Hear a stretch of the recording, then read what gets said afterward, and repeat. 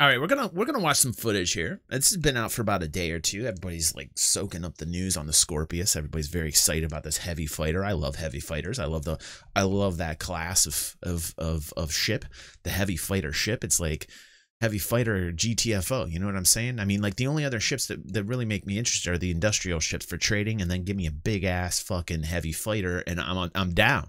You know what I mean? For too long, all we've had is the Harvey. Uh, people are getting bored of it. So the Scorpius coming in is a is a nice kind of refreshing uh, breath of. It's just a nice breath of fresh air. I want to check it out. I want to see what it looks like. Let's Here check it out here at the expo on Also's channel. We'll put the link down when we put this to and YouTube. we have the first look at the and I'm going to talk RSI about Scorpius. I'm going to talk about what I do like and what I don't like. Like the two major points, like what I really like and what I really don't like about the Scorpius. Heavy fighter. With an adaptable bi-wing configuration and revolutionary rail-mounted remote turret, the Scorpius offers unprecedented fire coverage, allowing for both defensive and assault-minded applications. And here, quickly, I'm going to spin around. We've got guns on the wingtips, like a frickin' X-wing, and we have guns up top. This looks like it has That's a eight lot of guns. guns. Yeah, that's that's 8, isn't it? It's also it also has missiles if I'm if I'm correct. Four on the wingtips and then four on top. Yeah, that that's So this is juicy. way more guns than what we currently. Is that it? Is that, is, is that it? So this is Yeah, way more guns, way more guns. We got that. Eight. Eight. Now there's another video detailing um I think you're gonna get a lot of DPS out of this. I think I think this is gonna be heavy DPS. Now let's let's watch this video here where it gets a little bit more detailed. Well, it's that time of the um, year again. by- another by Nash here. Launch week. So I'll put this link down. Leaked ship. This time the RSI Scorpius. First off, we got these four. Nash, Nash, I love you, bro. But like, you gotta up, you gotta up the tempo, bro. But it's okay. He's getting, he's getting, he's getting, he's getting into specifics right now. missile tubes on each side. Okay, the tubes. Now, I'm personally not a fan of missile tubes or restricting the missiles in any type of way, because that means you won't be able to swap them out for things like fuel tank drop pods or rocket pods in the future. Next, I want to show you where the maneuvering thrusters are. I see it's what kind of hard to see because it's a little bit broken up, but I sort of agree with them that. right here, here, here, here. Yeah, yeah, yeah. back, Maneuvering thrusters. All right, all right, all right. here, All right. Mm-hmm. here, All right. Yep. Mm-hmm. here, Okay. and right here. Okay. So there's eight. I'm not a big fan of maneuvering thrusters being on these uh, Tips. kind The of very wings, destructible. A bit like the Mhm. Talon, they can be Yeah, yeah, shot yeah. off, and Physics comes into play there. with a little bit of a handicap. You look like you might have your uh, flares and chaff. I mean, if we're simulating true realism and we really want the f- flight to be realistic, then yeah, that that to me is something that uh, would would definitely be something that would be a negative right there, and that's that's one of the things that I wanted to talk about. Uh, in terms of like the the negative aspects of Scorpius, that you won't you'll see everybody jizzing over this, and trust me, there's there's room for for the jizz. You know what I mean? There's plenty of it. I mean, I'm sorry I got a little dirty there for everybody, but there's there's there's more than enough excitement for this to be you know having having a fun time everywhere but there's also some things that, that i'm not hearing from from content creators out there uh room for the gist. The- should that be a t-shirt jack? I, I feel like maybe we just made our new piece of of, of merch. But there's also i mean there the, the the eight guns. Here okay let's let's just talk let's let them talk uh and and hopefully kind of like brings us up a little bit. No offense nash chaff just constructive criticism. CIG is calling it today, right here, and on this. What what as that? What is that? Hold on. What what are those? Hold on. What are, what are you saying these are? Hold on a second. have your uh, flares and chaff or Oh, flares and is chaff, calling alright. it today right here and on this side as well now it's kind of hard to figure out exactly which size guns these are maybe size Big twos? twos seems to be what everybody's suggesting Are they twos, fam? although the ones on this little turret almost look almost look bigger than the ones Yeah, yeah. there. I agree, Astral. it's kind of hard to tell it'd be hard to mean, see it- it- it has a slick aesthetic, these though. are all size twos and the ones on the wings are all size ones you got your main engines right here these little square cutouts now if you haven't noticed the remote turret right here as it says in that little uh, image from Invictus, can go back on this rail. Guys, three guns. Thank like you, Oz. Thank you, dude. It can go on this rail and looks like it can even go all the way down here. But in this concept image, you can also see another Scorpius with that remote turret firing backwards. Now, I got excited when I saw these wings because I thought maybe they were flaps. They still We got we got a two man two man in this. see how there's actual cutouts on all of them. How a shape like this Like a hornet setup. on a planet. That that's what's going on here? to be uh, determined. Yeah, yeah. Now I know everyone wants to know: Can they fold like an X-wing? But you can see under here I would imagine some sort so. of like mechanism yeah, it'd be dumb if they didn't. It could possibly be used. It, it will. making it going up and down. You can see the uh everything right here. Right. Almost right. So like so you know, I really want to talk about the the, the positives and negatives right now because Ramirez brings up a great question. It's something that I thought about too. You know, we talk about the the reality, the realism. How real is the flight going to be? And we all want it to be very real. So we also have to think about atmospheric flight as well. We, we saw maneuvering thrusters on the very back um, pinnage, the, the pins on the back coming shooting off the aft of the ship.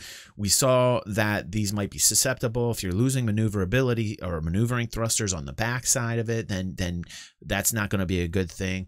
It makes me worry because I remember when the when the Connie came out initially and how destructible it was. S- SDF Tech actually helped it. So I'm imagining that the, the shields themselves will be a little bit more boosted to to compensate for the fact that hey, you know what? These there's some tips on here that are very exposed. That's what she said. We're getting back to the tips again.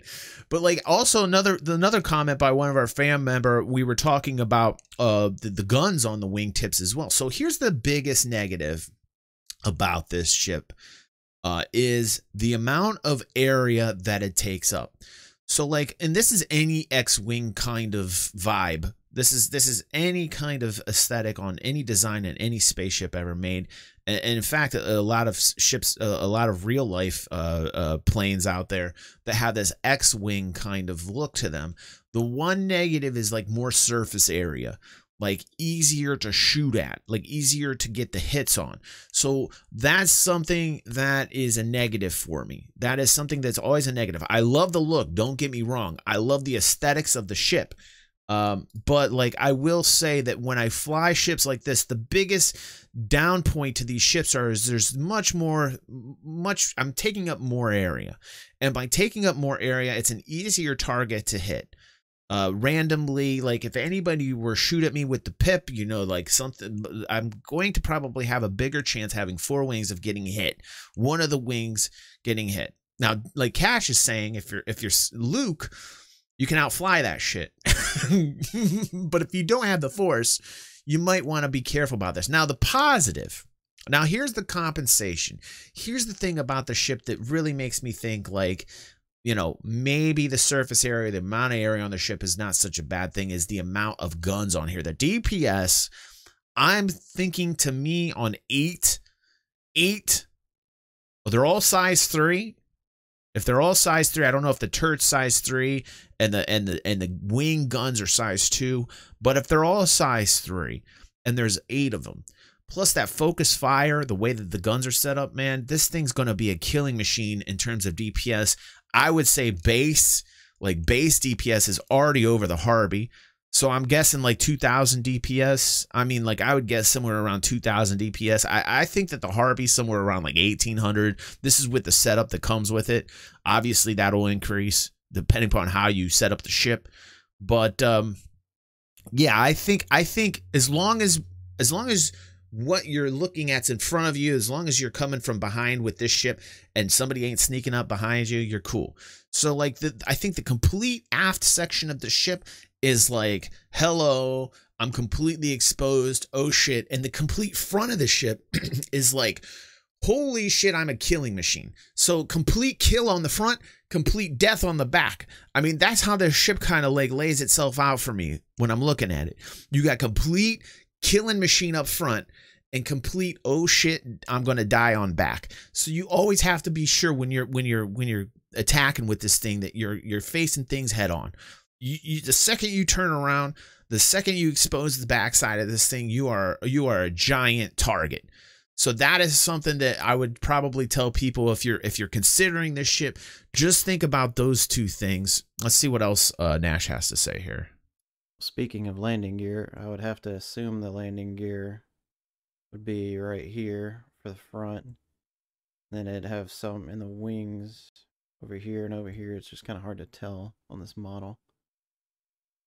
As for component access, it looks like all the ones, at least the ones I can see. I like I like the, uh, bottom, the, the amount of work he's thinking into this, godsend. putting into thinking about CIG this. has been getting into the habit of putting a lot of components on fighters on the top of the ship where they're going to get hit the most.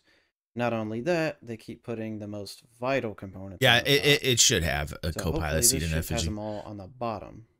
For their turret. Another potential reason why they might be coming out with this ship is because of the long-awaited feature of being able to change your weapon firing modes, much like you can on a turret. So they are sequential. So you can imagine those Badgers or whatever those are on the wings firing sequentially, a bit like an X-wing. And this is Could be a bit RSI, so you can see like that RSI design, and I'll tell you what, like there. But I guess they thought it would look a RSI stepping like up the game right don't. Want that Disney harassment? So they threw that remote turret up there too. Overall, it's a cool looking ship. I tried to find the uh, specs I like for the so I aesthetics, could too. components and things like that, but unfortunately they're not posted yet. It says just a hollow viewership right now. And that is all for today. All right, thank you, Nash. That was that was very nice of him to take the time out to give us his speculation on the ship. I, like I said, eight guns. DPS is going to be through the roof. Going to probably beat the Harvey. Uh, I, I would almost say for sure. Like I'm 90% sure that the DPS coming out of this is going to be more than the Harvey.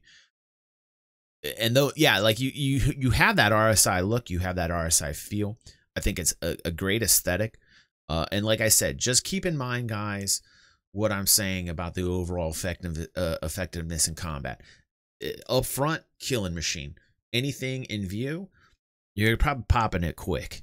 You know, uh, anything behind you, better watch out. Better watch out because you are a big ass target. And then we got to think about uh, atmospheric flight. What happens? A wing's blown off. You know, one or two wings are blown off. Is going to be a very difficult ship to be to land. How much realism is going to be into the flight model?